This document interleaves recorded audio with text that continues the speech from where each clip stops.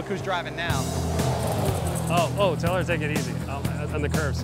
Yeah, she, she races, so she, she has a good feel. The throttle sticks wide open, and then you have to slam on the brakes. It's pretty sketchy. Help me. Why are we doing a go-kart or a little buggy? Well, there's really more than one reason. We like to do strange off-the-wall things once in a while just to break up the monotony.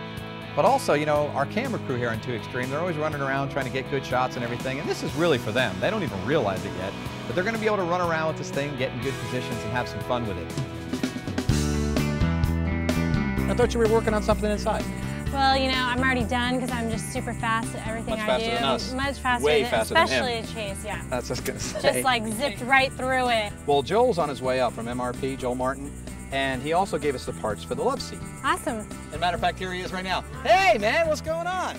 Well, anyway, long story short, he said, can you do a go-kart? And I said, yeah, why not? So we're going to just kind of as a side project, go ahead and tweak this thing out. Long story Well- short, here's a go-kart. Long do it. story short, let's go see what Joel's got going on. Is Chase frustrated? Yeah, he is. All right. Cool. It's big. It is big. I see it's all MRP'd out already. Yeah, I put a few stickers on it. And a Uh, few scratches. You've been driving this thing. Yeah, but it is uh, stock. it's pretty much stock. Okay. I took it out to the Everglades uh, once, and it performed really well. I have a box in the back with all the performance parts. Okay. So, and I want to see what you guys can do with that. I think it's going to be it's going to be fantastic. All right, well, let's get it out of here. Okay. I can go out there. You guys hold it.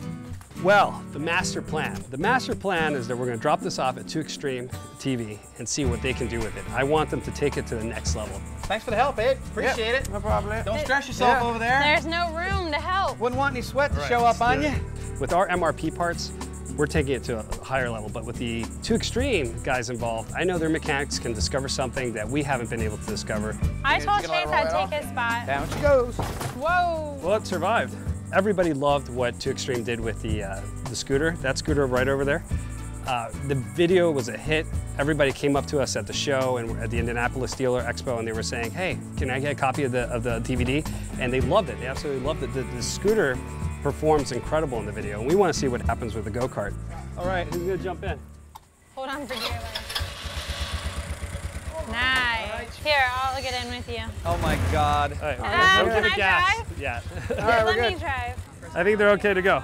Take it off, man.